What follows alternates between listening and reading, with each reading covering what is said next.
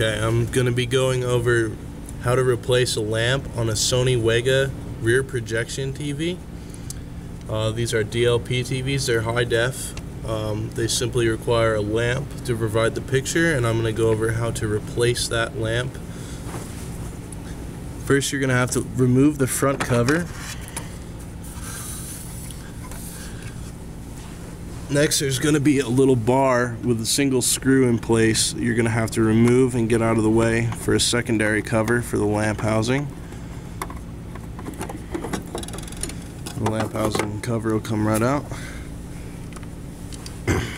You use a 3 millimeter Allen wrench head, uh, screwdriver or Allen wrench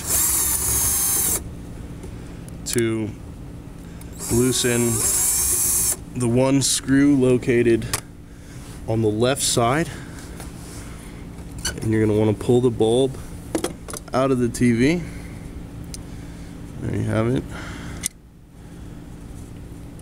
To replace the bulb you simply remove these screws and open up the housing. Pull the bulb part out of the housing and insert your new replacement bulb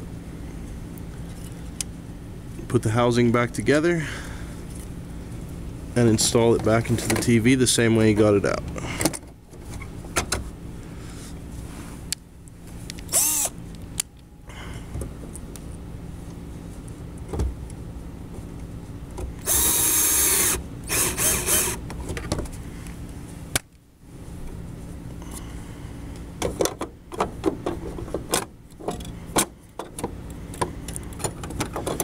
The arm back over and screw it back in place.